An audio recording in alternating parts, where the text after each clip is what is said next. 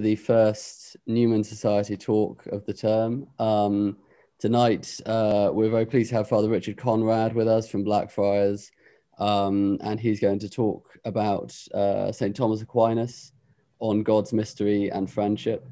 Um, so, uh, also, just to let you all know, uh, for the Zoom social after Adoration, Benediction, Compline, which will come at the end of the talk, um, the first 15 minutes or so will be our annual AGM. Um, it'll be quite short, so just come along um, and you can learn about what we've been doing in the past year. Uh, so, Father Richard, uh, take it away.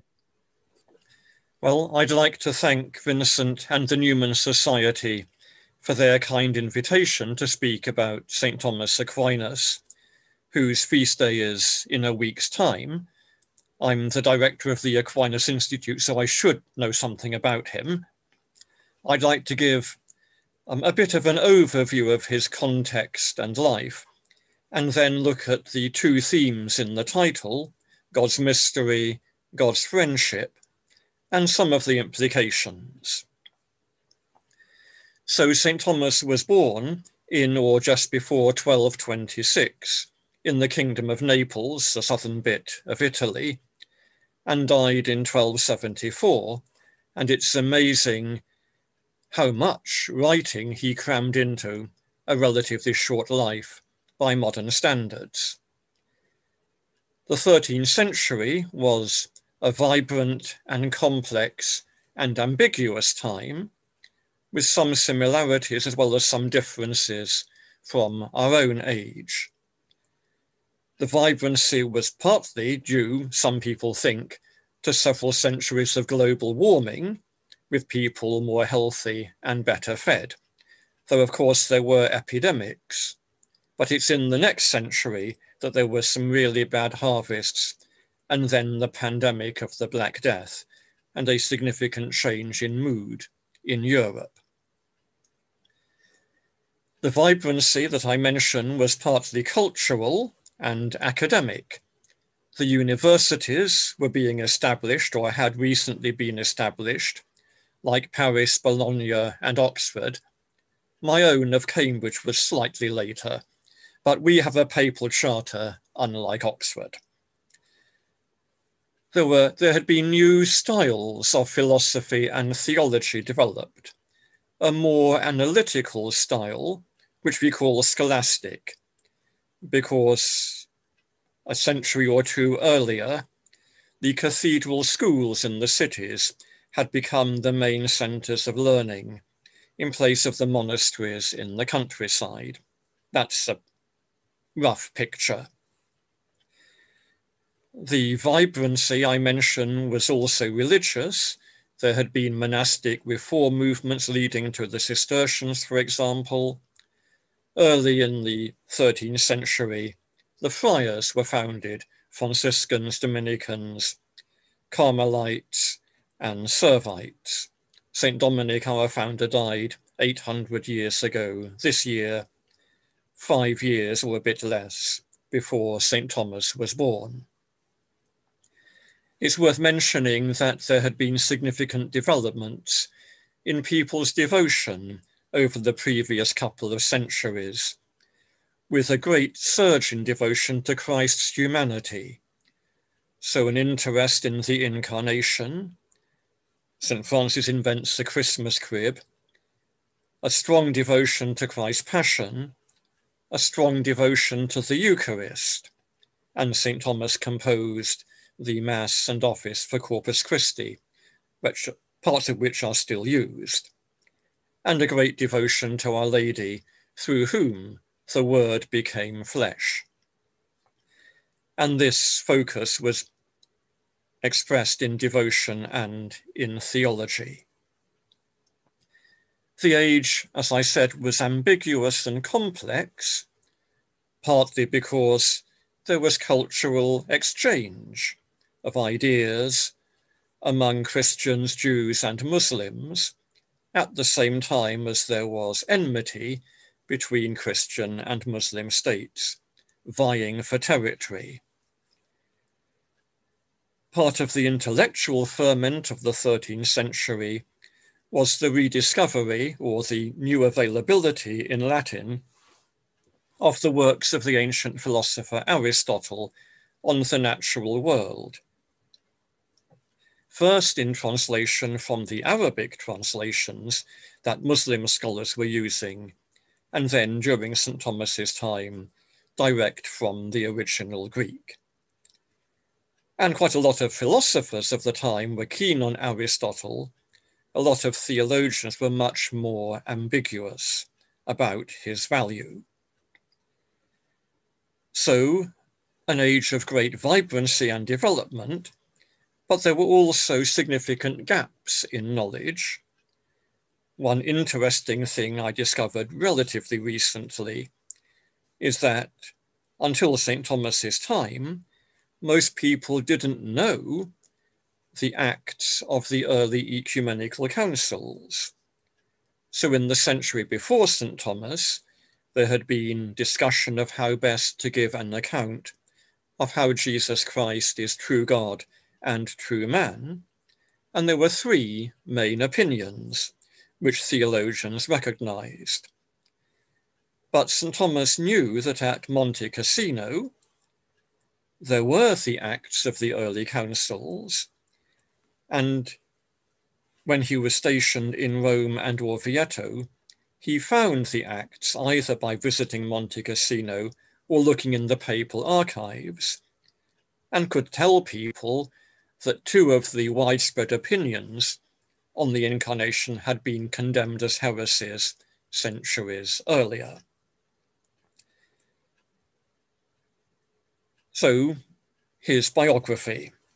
He was born as I said, in the Kingdom of Naples, and was sent as a boy to Monte Cassino to be educated by the Benedictine monks. And then he went to university at Naples. At the time that the works of Averroes, an important Arabic Muslim philosopher and commentator on Aristotle, his works were becoming available in Latin for people to read. In Naples, St. Thomas met and joined the Dominicans. His family didn't think he ought to be a mere scruffy friar. They thought he might become abbot of Monte Cassino and improve the family fortunes. So they put him under house arrest, which gave him time for study. And eventually his mother helped him to escape. So he went to Paris to study as a Dominican and he was there in an international academic environment, very interested in drawing on the many sources available for philosophy and theology.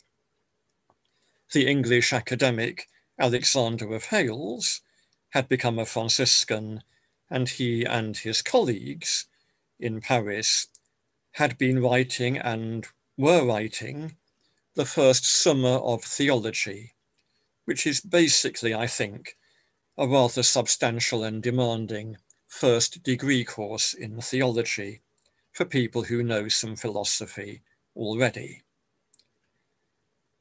In Paris, Thomas was taught by Albert the Great, who was keen on using Aristotle's ideas and synthesizing them with other traditions.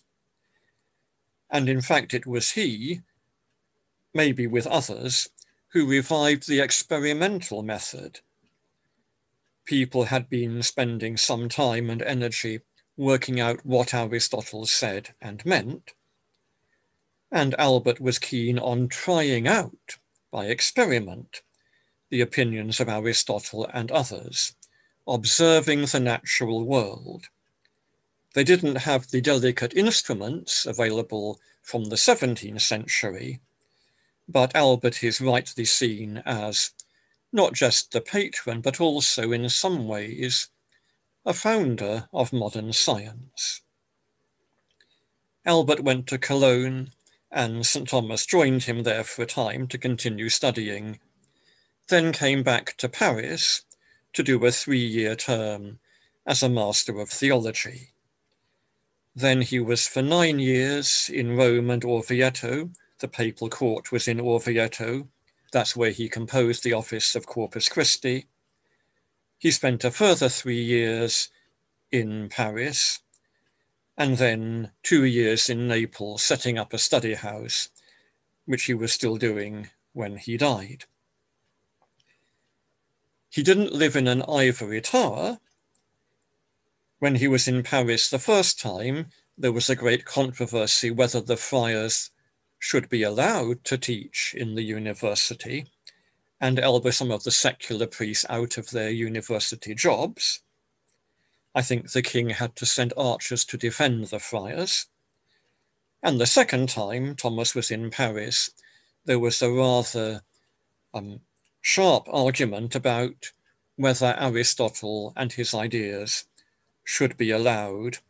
And in fact, three years after he died, some ideas drawn from Aristotle were condemned by Oxford and Paris universities.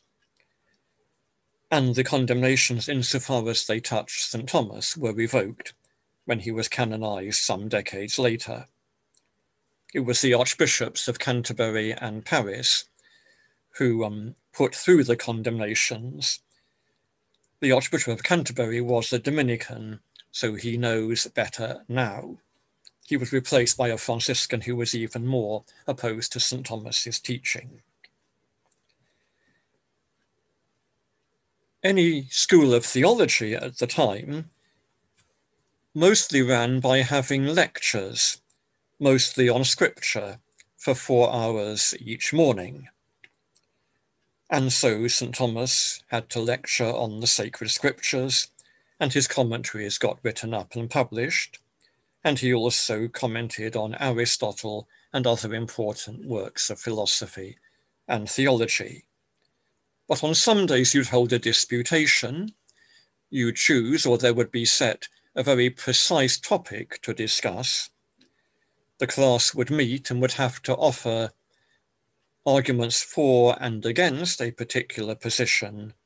And on the next day, the master would give his opinion then answer all the points that had been made as far as necessary. Those got written up and published also. Besides the disputed questions, Thomas also wrote treatises of varying lengths on topics people had asked him about. And he wrote the Summa Contra Gentiles as a handbook for missionaries, and the Summa Theologiae, his first degree course in theology. So he was one of many important and interesting medieval thinkers of the centuries before and after. He has been not just the most famous, but perhaps the most influential, partly because not just Dominicans, but also Jesuits chose to follow his teaching, and the church has officially commended it. His writing is extremely clear and goes for academic solidity. That helps it be understandable. Scotus was much more complex in his Latin. Thomas was also synthetic.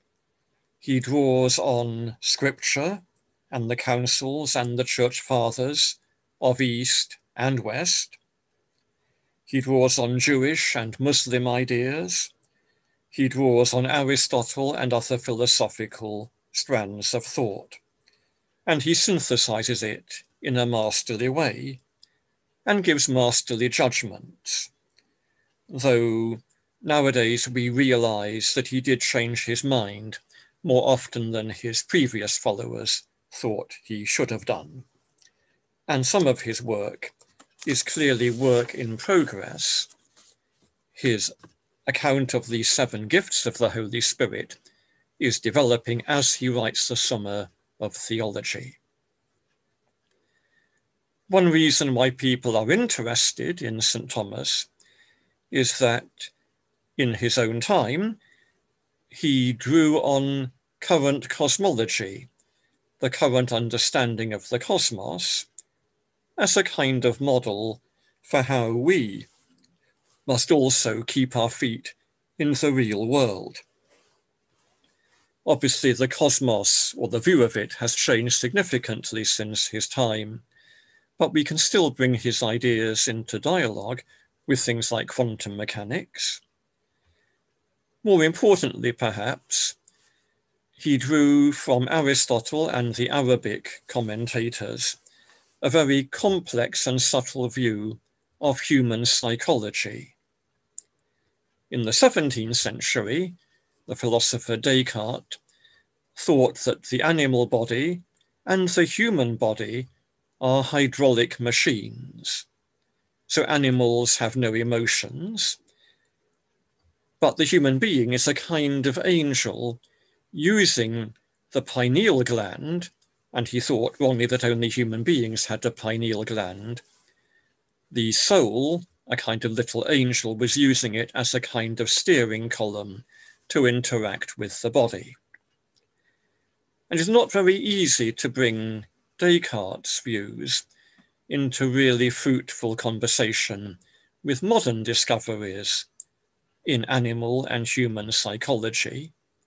But we can do that with St. Thomas because he knew how complex and subtle animal psychology is, though he wasn't aware of the social systems of the great apes he was well aware of the animal components, you might say, of the human psyche and how our senses, our emotions, our imagination are in a kind of intricate organic relationship with intellect and will, powers that we share with the angels.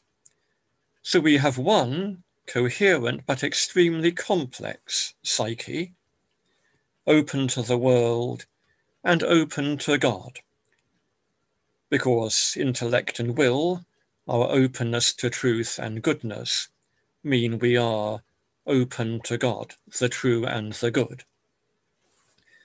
So I think St. Thomas was keen on getting human psychology right because it gives you a sense of where it is that God's grace takes flesh to transform our lives. But it is possible to bring St. Thomas's ideas into a very fruitful dialogue with modern discoveries in psychology. We have to be open to those discoveries. Thomas would want us to be open, but we can also, with his help, pose interesting philosophical and theological questions. So people have sometimes thought that St. Thomas's thought is like a medieval cathedral, and I think they mean it is complex, but also watertight and complete. In fact, it's not really like Salisbury Cathedral, which was built in one go and is coherent and neat. It's more like one of those complex medieval cathedrals intriguing and almost fractal, if you like, which is still being built and has no roof because it's open to the sky as a symbol of God. So that leads on to my first main topic, the mystery of God. The God to whom, as human beings made in his image, we are open. One great 20th century scholar, Etienne Gilson, said that St. Thomas practiced what he called the metaphysics of Exodus. He was thinking of what was revealed when Israel came out of Egypt. From that time comes the Shema, Hear, O Israel, Adonai our God, Adonai is one. So the unity of God is important, as it is for St. Thomas. But Adonai, the word I used, stands for the name that was revealed to Moses in chapter 3 of Exodus at the burning bush, a name which came to be pronounced only in the temple in Jerusalem and otherwise replaced by Adonai, my Lord and it's explained as I am who am. In the third century BC, the Jews in Alexandria translated the first bit of the Bible into Greek, and that explanation went into Greek as ego eimi ho on, I am the one who is. And St. Thomas said that he who is is in fact the best name we have for God. I think myself that the name revealed to Moses in Hebrew does mean he is making things to be. Whether that's true or not, certainly it came to be understood as I am the one who is. God alone possesses being. All creatures receive being from God as a gift. And that is very much St. Thomas's position. God alone possesses being. All creatures, from the lowest to the highest, must receive being as a gift from God. And that makes God radically different from all creatures. That's what we find in chapter 40 of the book of Isaiah, part of the part of the book 40 to 55, which was written during the exile in Babylon, at the same time as the first chapter of Genesis was being written. So Isaiah says, To what, to whom will you compare me, says the Lord? Lift up your eyes and see who created these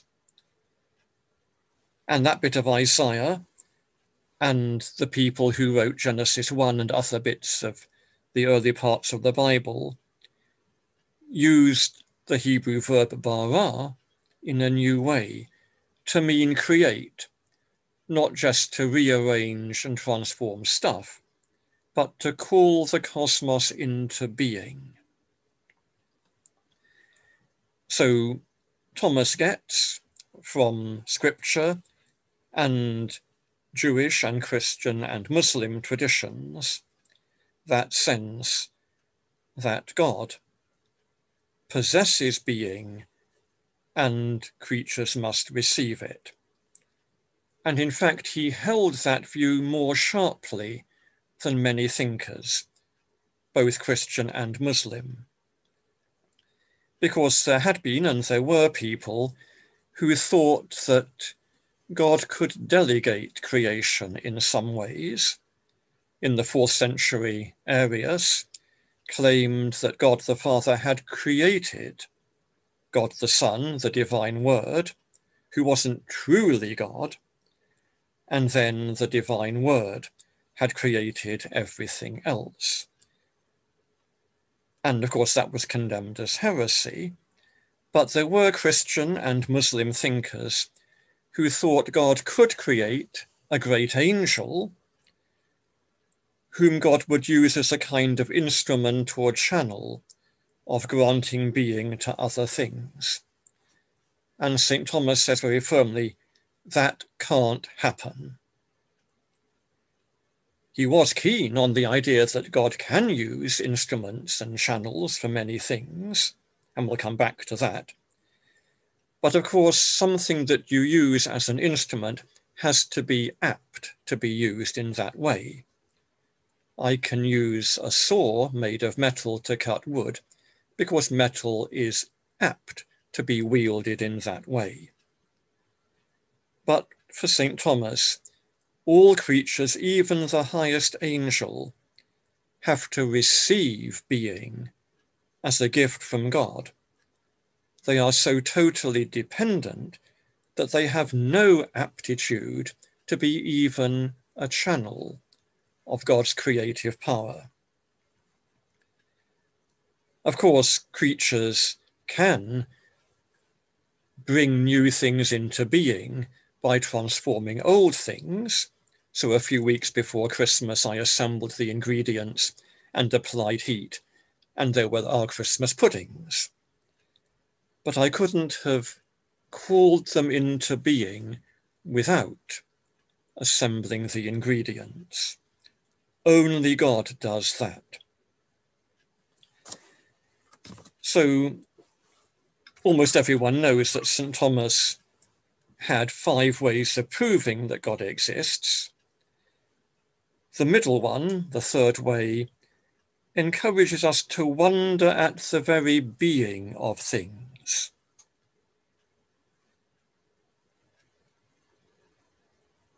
God holds everything in being all the time.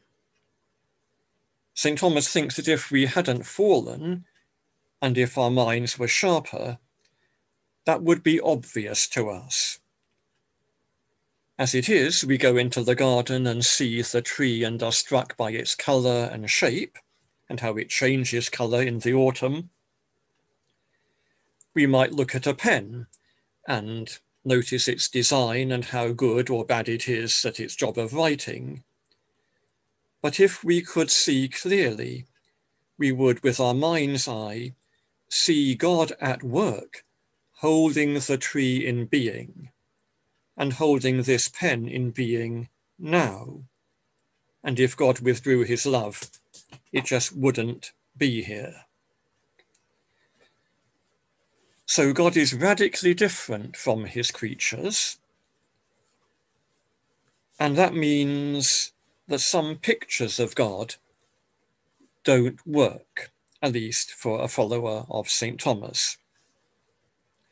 We shouldn't think that God literally is a great spirit alongside many other spirits, but just greater and more powerful and more wise we shouldn't think of God as merely the great watchmaker who crafts the world, sets it going, and then sits back while it runs itself.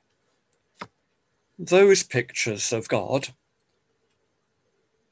imply that God might be a threat to us because he might interfere with the world that ought to be running itself it might mean that God competes for space with other spirits. And the more God does, the less space there is for creatures to do things. And that's exactly not what St. Thomas thinks. God, as the giver of being, gives being to all things not just substances, but all their powers and their interactions. So, whenever anything happens in the world, like when the gas boils the kettle, God is holding in being the gas and the water, and the power of the gas to boil the water, and the action of the gas boiling the water. So God is not acting instead of his creatures much of the time. Rather, because of God, they are doing what they do with their real powers and actions. So God is not a threat, but, if you like, the great enabler. The more God does in his world, the more creatures do. But there are some things that God does which creatures can't do. And some of those things are miracles like raising the dead. But there are other things, some of them greater than many miracles, that only God can does can do, and he normally does them in such a way that the creatures are involved even in that. So the human being is more than a biological reality. The human soul, the human form of life, has to be created by God. But it's not that human beings have nothing to do. Parents engage in the act of procreation. They minister the biological material that God, in a kind of intimate working with the biological process, lifts to a higher level, giving us an immortal form of life in which we are in his image and likeness. And then we perform free actions because we have intellect and will, and nothing in the world fully determines what we do freely. But it's not that we act independently of God. God is within mind and will, attracting and inspiring, granting truth, attracting to the good. And so Herbert McCabe, who was a great exponent of St. Thomas in this priory and died 20 years ago, was eloquent on how our free actions are in fact a share in God's own freedom. That, of course, makes it difficult to understand how human beings commit sin, and the Jesuits are better at that than the Dominicans are. But we want to say that Thomas wants to say with St. Augustine that when God does more in us, he makes us more free. Because by grace, God enlarges, enriches our hearts, our minds, our wills, to help us rise more wholeheartedly to love and want and pursue what is really good for us. So God's healing grace lifts us to higher and higher degrees of freedom where we become more whole not in spite of God, but because of what God is doing in us. In fact, St. Paul had called grace a new creation. St. Peter says we are lifted up to share the divine nature. And St. Thomas again was eloquent, following Augustine, on how when the baby is baptized, something more wonderful happens than when the whole cosmos sprang into being, because the creature is becoming divine. But it happens through human ministry. Grace flows into the world through Christ's humanity and to us through the sacraments with their ministers. So God's otherness, in which God alone possesses being and alone grants it, does not mean that God is distant or aloof. He is present in all things, holding them in being, closer to us than we are to ourselves, Augustine says. And we can speak, in fact, of God's love, God's proactive will going out to craft and cherish the goodness of his creatures, giving them the many things that they do, reflecting his own beauty and goodness and wisdom. That mention of God's love leads me on to my final topic, the friendship of God. What I have said so far implies that God has a love for all things, calling them into being and holding them in being. But St. Thomas thinks that for us and for the angels, God has a higher kind of love, which in fact we can call friendship. St. Thomas wrote eloquently about faith, hope, and charity. And he says, charity, the love between us and God, is a friendship. He got from Aristotle the importance of friendship in human fulfillment, in the coherence of society. And Aristotle had pointed out that you can't be friends with a slave whom you possess. Friendship requires an element of equality and reciprocity.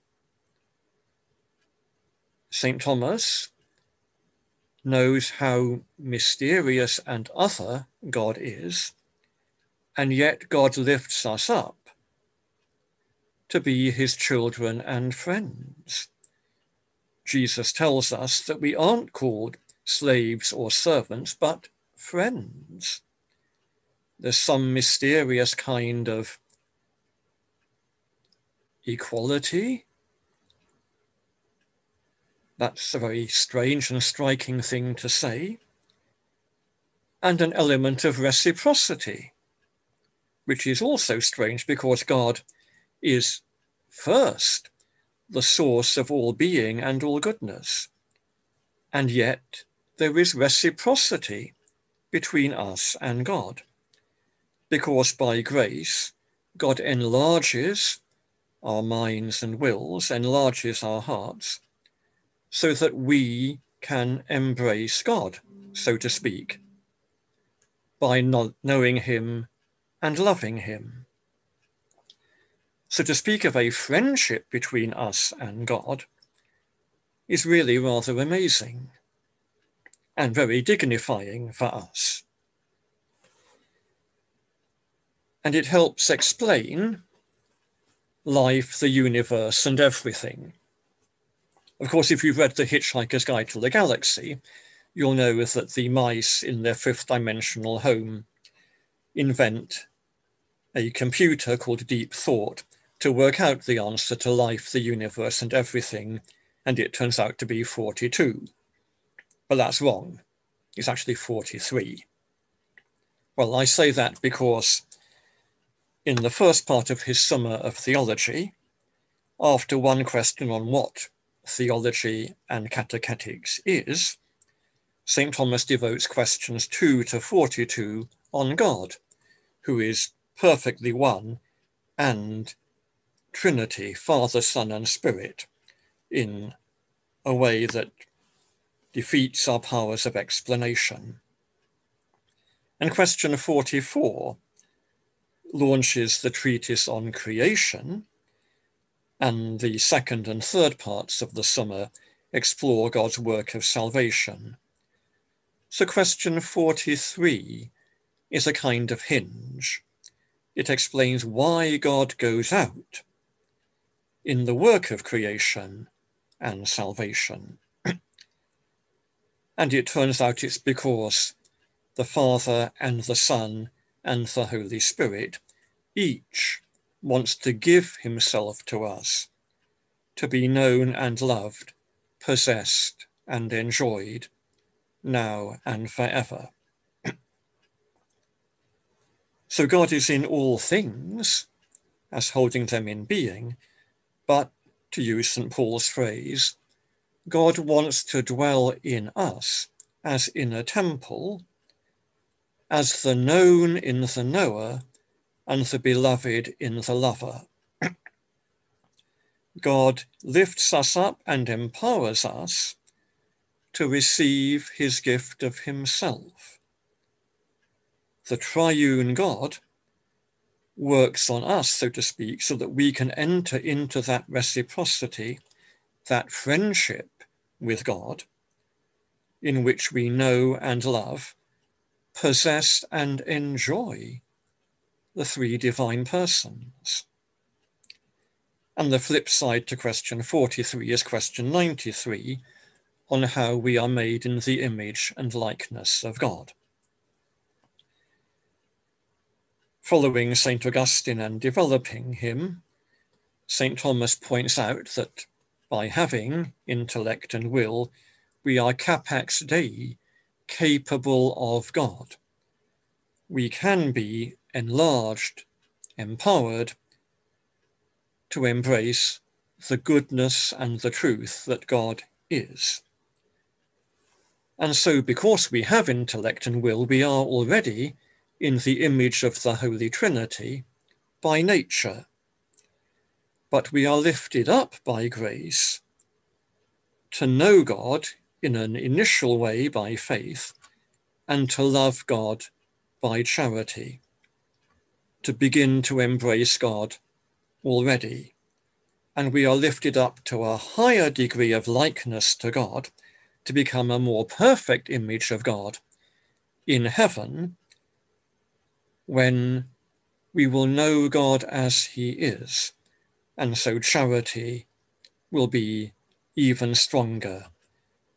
And we will share God's own knowledge of himself and God's own delight in himself. So St. Thomas gives us that amazing notion of friendship with God God bringing us into reciprocity with Himself and giving us Himself in friendship, sharing His own happiness, His own life and bliss with us. It seems to me that as his career went on, St. Thomas was more and more aware of how the great mysteries of our faith defeat our power of explanation. We can still speak, he speaks eloquently about the mysteries of faith, but you get a sense that he is stretching human words and philosophical concepts to point to something or someone that transcends our power to grasp. So the Holy Trinity, the mystery of the friendship that God is, is beyond our power to grasp, but so is the Incarnation. The Son of God enters into solidarity with us, becoming one of our family, but the union between God and man in Christ doesn't fit into any of the kinds of union that we know of in the world. It's something beyond. And Jesus lays down his life for his friends. Christ's passion is the great act of friendship towards us. And we can get some small glimpse from our sufferings of Christ's suffering, but we can't fathom everything achieved by Christ's passion, death, and resurrection. They reach out in their power to the whole of human history to bring people into friendship with God. But they achieve more than the human imagination can comprehend, St. Thomas says. And the Eucharist is the great sacrament of Jesus' friendship wanting to be with his friends until the end of time as intimately as possible. But the change of the whole being of bread and wine into Christ's whole being is something that only God's power can achieve.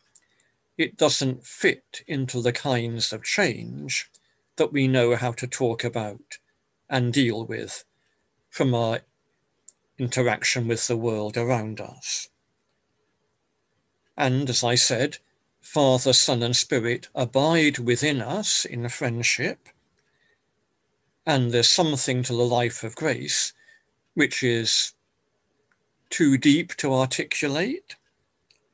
And then in the life of glory, we will know God as He is, but it's beyond the power of human imagination, as St. Paul says, to comprehend how that will be and what it will be like. So there's a little glimpse of St. Thomas's biography and work, and a glimpse of two aspects of his teaching and something of their implications, which I hope can help us ponder more deeply and be more amazed by the mystery of God and the friendship and love of God, so that faith and hope are nourished and we can go on pilgrimage until they are replaced by sight and possession, and our charity, our love of God, can grow until in heaven it comes to perfection. So, thank you for your attention. Thank you very much, Father Richard. That was a, a fantastic talk. So, um, uh, for people watching at home on YouTube, you've probably seen some people already dropping some questions in the in the comments. So, if you have any questions you'd like to ask, then please do throw them in there. Um, so, just to get things going, um, you mentioned briefly about um, the Arian heresy, um, and so I just wanted to ask about something I'd read on my course. Um, a uh, Eastern Orthodox metropolitan um, described the the generation of the Son as the sort of uh, an act as a, a, positive act of the will of the father. Um, and so I was wondering uh, what St. Thomas would have to say about that. Sort of comes from God's love but as an intentional act rather than necessarily just sort of coming about in itself? Well, I'd want to go back to St. Athanasius, um, who had to address the issue um, which the Arians put to him um, was God the Father forced to generate his son, which seems very odd, or did God the Father choose to generate his Son, so he might not have done so. And St. Athanasius says, neither. It's the way God is. Naturally, neither forced nor an arbitrary choice. So I think St. Thomas would agree with Athanasius that God is Trinity. That's the way God is but it's not that anything forces God to be that way. It's not a choice, but it is personal relationships. The Father begets his Son, expresses himself fully and perfectly in his image, his word, his wisdom, and the medieval theologians um, had various ways of trying to express that, or at least sell that picture. So some, um, like Richard of St. Victor and St. Bonaventure, were keen on how, if God is supreme goodness, he must communicate himself, because goodness does communicate itself. So it makes sense that the Father should beget the Son, and they should breathe forth the Holy Spirit. St. Thomas tends, I think, to say we are in the image of God. So, what goes on in the human psyche gives us a little glimpse of what goes on in God, but just a tiny glimpse. And we automatically know ourselves and our plans. So we can, if you like, picture God, the Father, as knowing himself and his plans and expressing all that in his word. But that's a little picture of what goes beyond our comprehension, but it means that St. Thomas can say that from all eternity, God the Father knows himself and knows us in his creative word. And further, from all eternity, the Father and the Son love each other and love themselves and love us in the Holy Spirit, the divine love. So, in the eternal life of God, we are there already, planned in the Word and loved in the Holy Spirit. And what happens in time is the outpouring of that eternal cherishing of us that's in God. So there are different ways of getting a bit of purchase on the Trinity, but I would be wary with St. Thomas of saying God of giving any hint that God the Father simply chooses to beget his Son. Thank you. That's really interesting. Uh, Matthew is asking, um, are we not used as God's instruments in bringing children into being? It seems to run contrary to what Aquinas is saying. Also, what would he say about the notion of humans bringing ideas into being? Hmm. Um, yes. Um, in St. Thomas sees God as the unmoved first mover. So God is not just behind the being of things, but behind all that happens in the way that it happens. So we do bring ideas into being. There's a spontaneity in our intellects and our wills. But the human being is not the unmoved first mover. It's because God is already empowering us to think and attracting us to the good that these things happen. So it is true that we initiate thoughts, and it's true that we love, but our love tends to be a response to goodness that we perceive. But none of this happens independently of God. It happens because we are so much in God's image, and God is so much at work in us. Not putting ideas into our heads the way some Christian Platonists thought. Well, he does sometimes with prophecy and so on, but often we are interacting with the world and crafting our concepts and so on. But God is still lying behind that in a subtle and um, intimate way, if you like. And then human beings do um, bring others into being, but not completely. At least the Catholic Church has long insisted that the human soul is directly created by God. We have to find a way of expressing that that meshes modern understandings of reproductive biology, but in some kind of intimate interaction with the biological process, the human conceptus is lifted to the higher level of being the rational animal, conceived by the parents, but raised to being the image of God.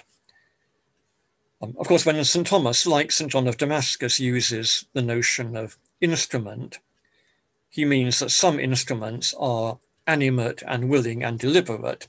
So Christ is the channel of grace into the world, but not a kind of tool of an impersonal kind. So, in fact, the love between husband and wife and their act of union is instrumental in that humane way and involved in the act of um, procreation, ministering the conceptus to God for his further act. That's roughly how I would try and put it. Great, thank you. Um, Emmett asks uh, For many, the problem of evil is God's apparent inaction in the face of suffering. Uh, but does the Thomistic view not deepen this conundrum if God actively holds in per, uh, holds in being a person engaged in moral evil? Yes, um, it's especially difficult for Dominicans to give an account of evil. Well, Herbert McCabe um, gave quite a subtle account.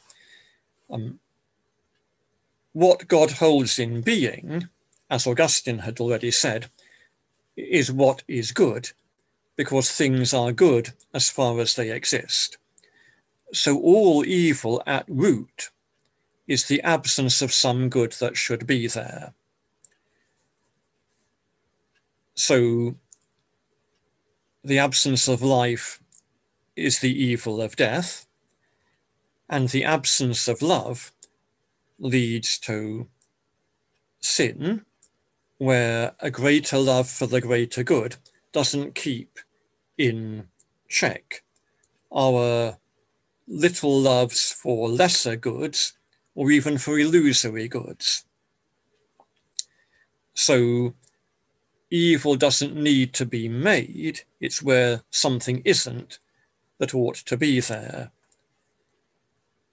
And in the case of evil suffered, then there are competing goods. The lion only gets fed if the gazelle gets eaten, and it's good for the lion, bad for the gazelle, good for the ecosystem. But applying that to human suffering and applying that to human sin is really rather a difficult question. God doesn't will evil, but he permits it. And as the questioner said, God holds in being the lion that's eating the gazelle, or the coronaviruses that are attacking people now, or the murderer or rapist. And there's something of a mystery there, which I don't think we can easily um, solve, even if I had 10 hours rather than one minute to do it. So I agree there is a mystery there. Um, I think St. Thomas, like Mother Julian, but less eloquently than Mother Julian, does urge us to hope that good is brought out of evil.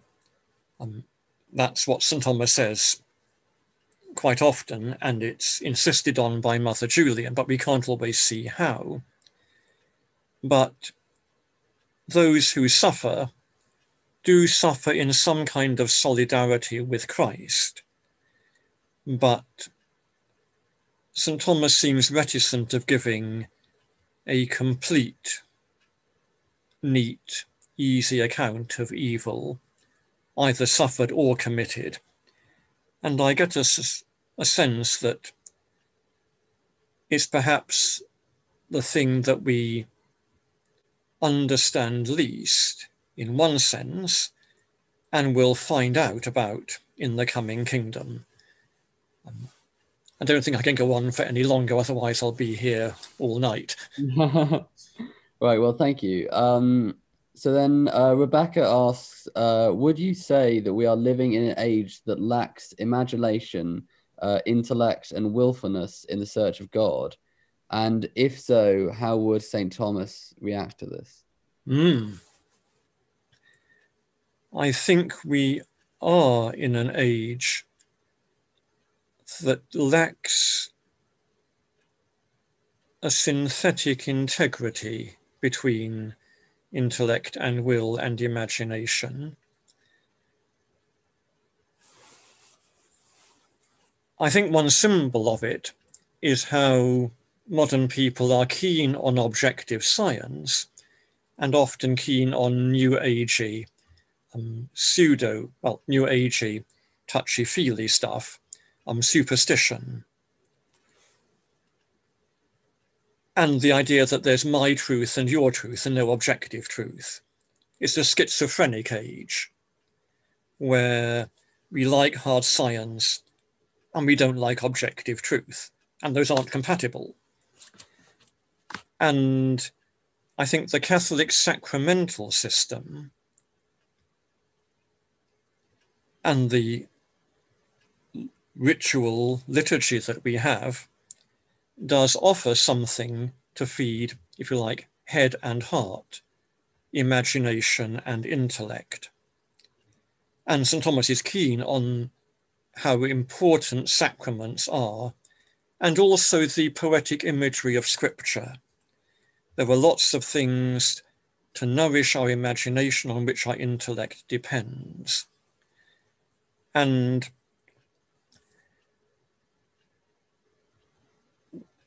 what St. Thomas would say to our age, difficult to say. Um,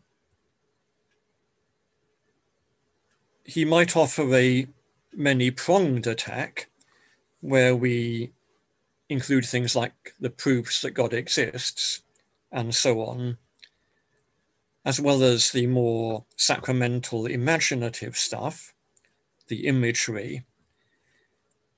But I think perhaps what he would want us to do is to be open to a more vibrant view of the world. Because there are people like Richard Dawkins who think that the world is basically lots of little lumps of stuff which are here and just happen to be here and are arranged in complex ways. So Dawkins says that if there's a tiger in the room, you pretend it wants to eat you. It's really just a machine, but to calculate how it will spring, you'd be dead before you've done the calculation.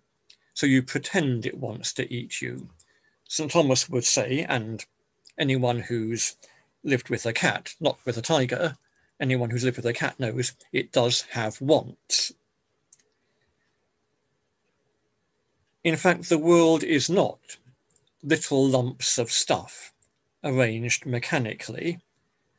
And that, that's not true to modern quantum mechanics. It's a view of the cosmos which was out of date a century ago. And there are people working now, um, doing doctorates on things like bringing Thomas into dialogue and Aristotle into dialogue with quantum mechanics. So I think we are at a point where we can say the old mechanical view of the cosmos, a false scientific view, is not the real cosmos. And we can bring some traditions into dialogue with real modern cosmology and invite people to have a more vibrant view of the cosmos. And what I mean by that is instead of seeing it as lots of little lumps of stuff merely arranged, notice how many kinds of things exist.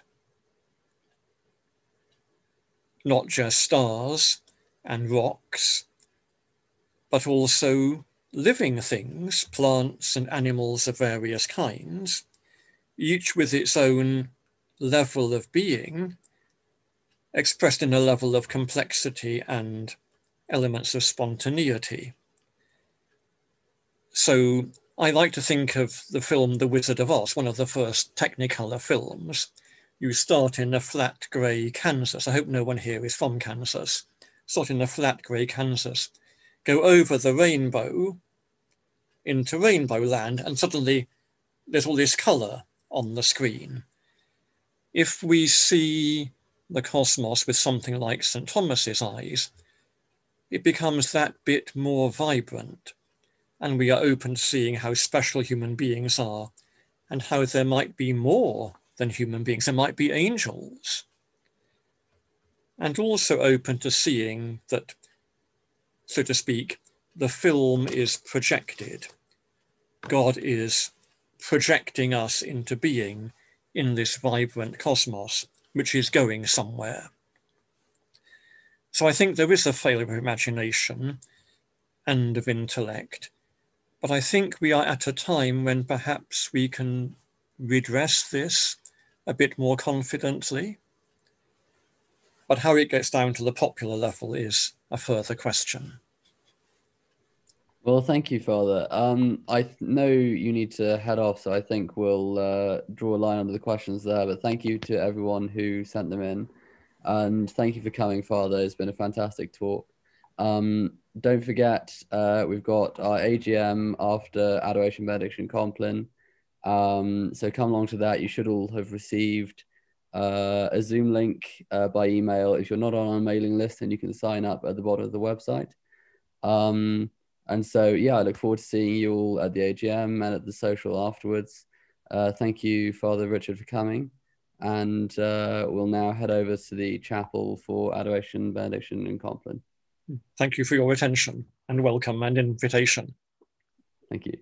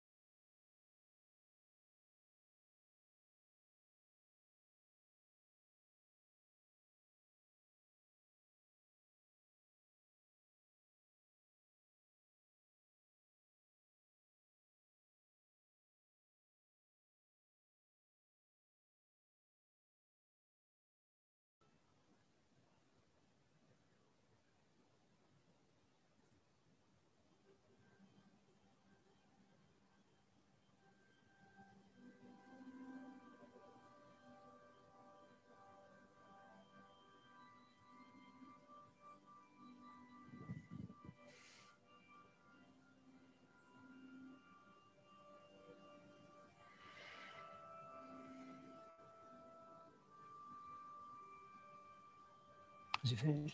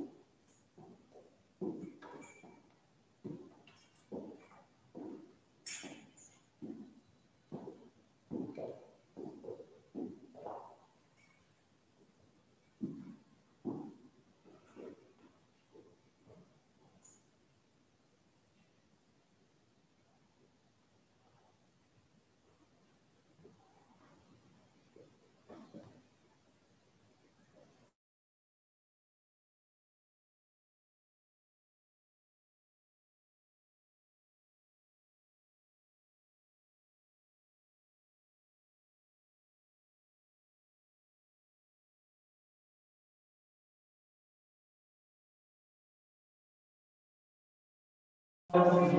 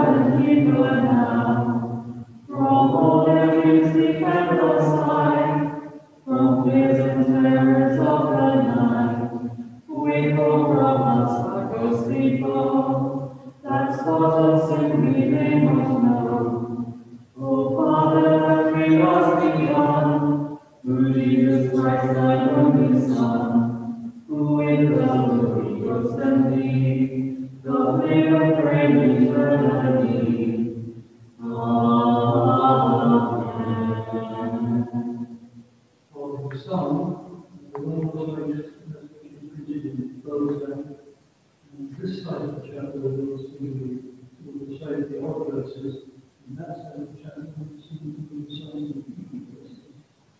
My body shall rest in safety.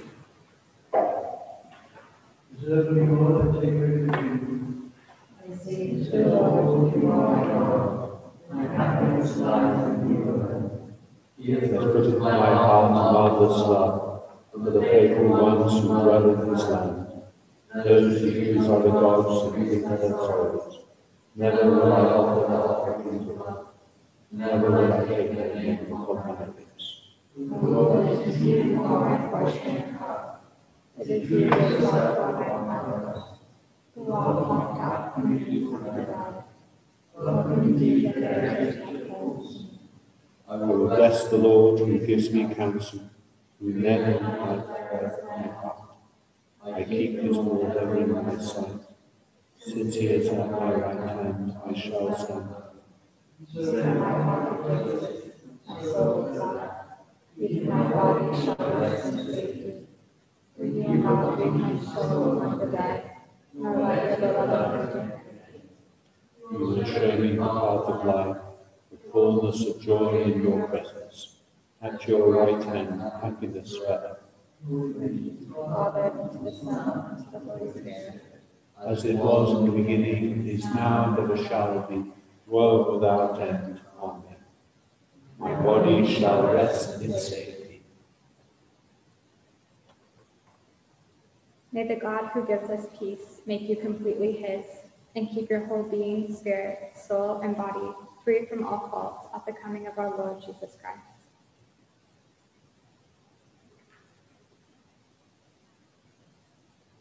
And Lord, I commend my spirit. Into your hands, Lord, I commend my spirit. who has redeemed us, O God, Into your hands, Lord, I commend my spirit. Glory be to the Father, Son, and Holy Spirit. Into your hands, Lord, I commend my spirit. Save us, Lord, while we are awake. Protect us while we sleep, that we may keep watch with Christ and rest with him in peace. Give us, O common Master. You give leave to your servant to go in peace according to your promise.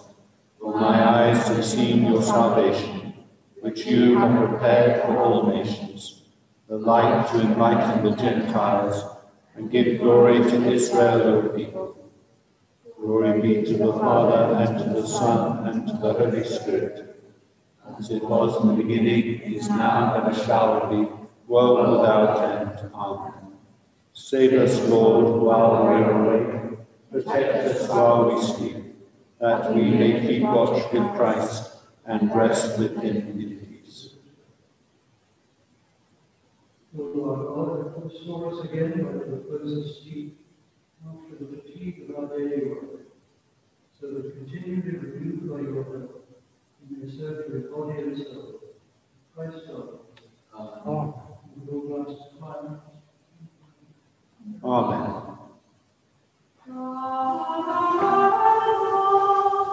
Amen.